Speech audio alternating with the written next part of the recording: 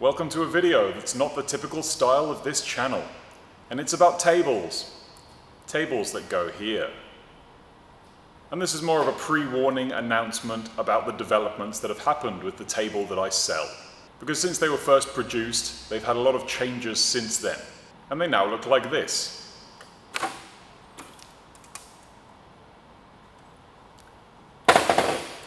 And I can safely say they are the best four-wheel drive tables you can get. But we'll get more into that later. I will start by saying this. If you have purchased one of my old model tables, then you can send it back and I will give you a free upgrade of the new model, because it's a lot better. Anyway, let's talk about why it's a good table. Now any table that mounts here obviously needs your rear door card to be removed. The last model didn't need this, but this one does.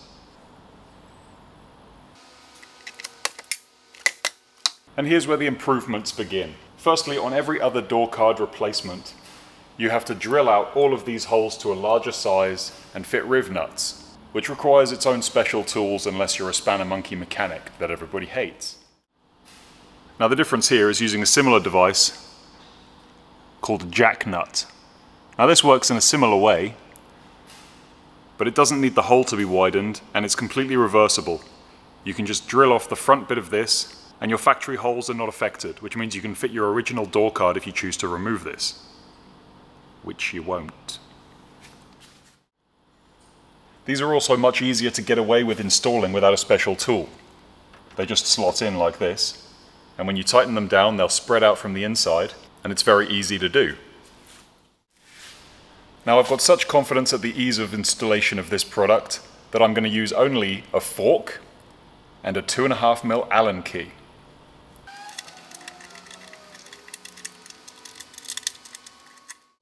So in terms of how tight to do it, I'm just keeping moving it every now and then to see how tight it is.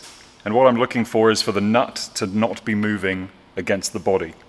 And what that means is that the jack nut is secure and the rest of the tightening will happen when you fit the panel.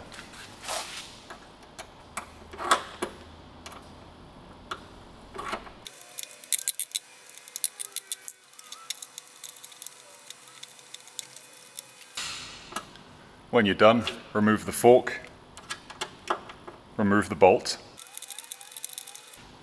and repeat that for all of the holes.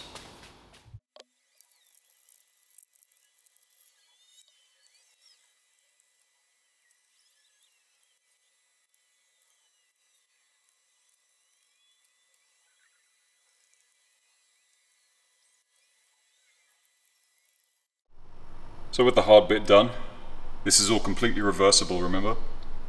You can now just bolt up the plate and you're pretty much done.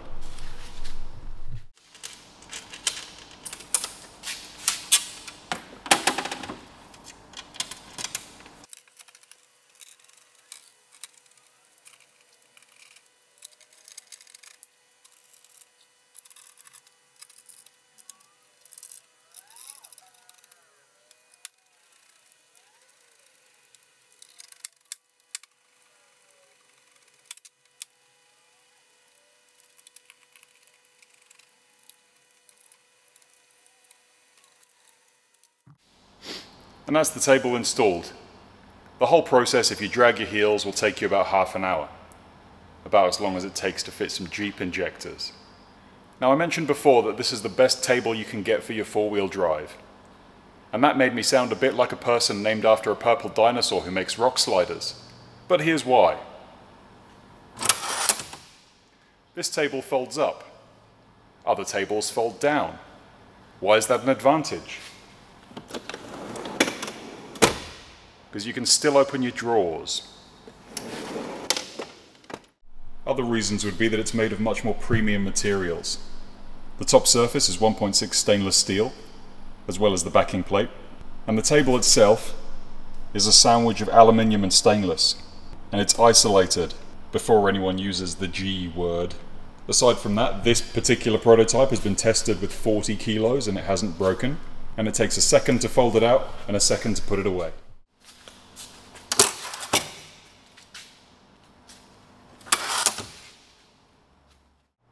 Now this table is about 95% of the way through the prototype stage. Now while the fit is perfect, the design has had to be tweaked a little bit. and this will all be finished off in the final product. And as this company is mostly a prototyping company, the components of this will probably be outsourced, but assembled here, which means that build quality will also increase. But unfortunately, I am personally one of those people that pesters people for feedback on the stuff that they buy. And here are the things that have been improved on. There were only two, because the last one was actually quite good. But some people had their table flopping around in the back of their car. So there's now scope for attaching a retaining strap to stop that, to keep it flat. And the last one was more of a pre-designed suggestion than a complaint, which is adding these little hooks here so you can attach pots and pans to it. And one of the things in the redesign was to flip this plate around so that these hooks are on the other side. Firstly, so it gives you more ground clearance, and secondly, so it means that these can be used along with those other holes to stop the rattling. I'll also add this in because it would be silly not to. Obviously, the backing plate is already designed, which is a very nice strong replacement for a Toyota door card. So I'll also be selling stainless steel door cards, because they're already kind of designed. Anyway, it's going to be available in the coming months. Check the website. Also check the other channel, because I'll do an installation instruction video on that one. And finally, again, if you've previously bought the older model table, send an email to this email address, send back your old table, and once everything's finalized with this one, you'll be sent out a new one of this design. That's all, bye.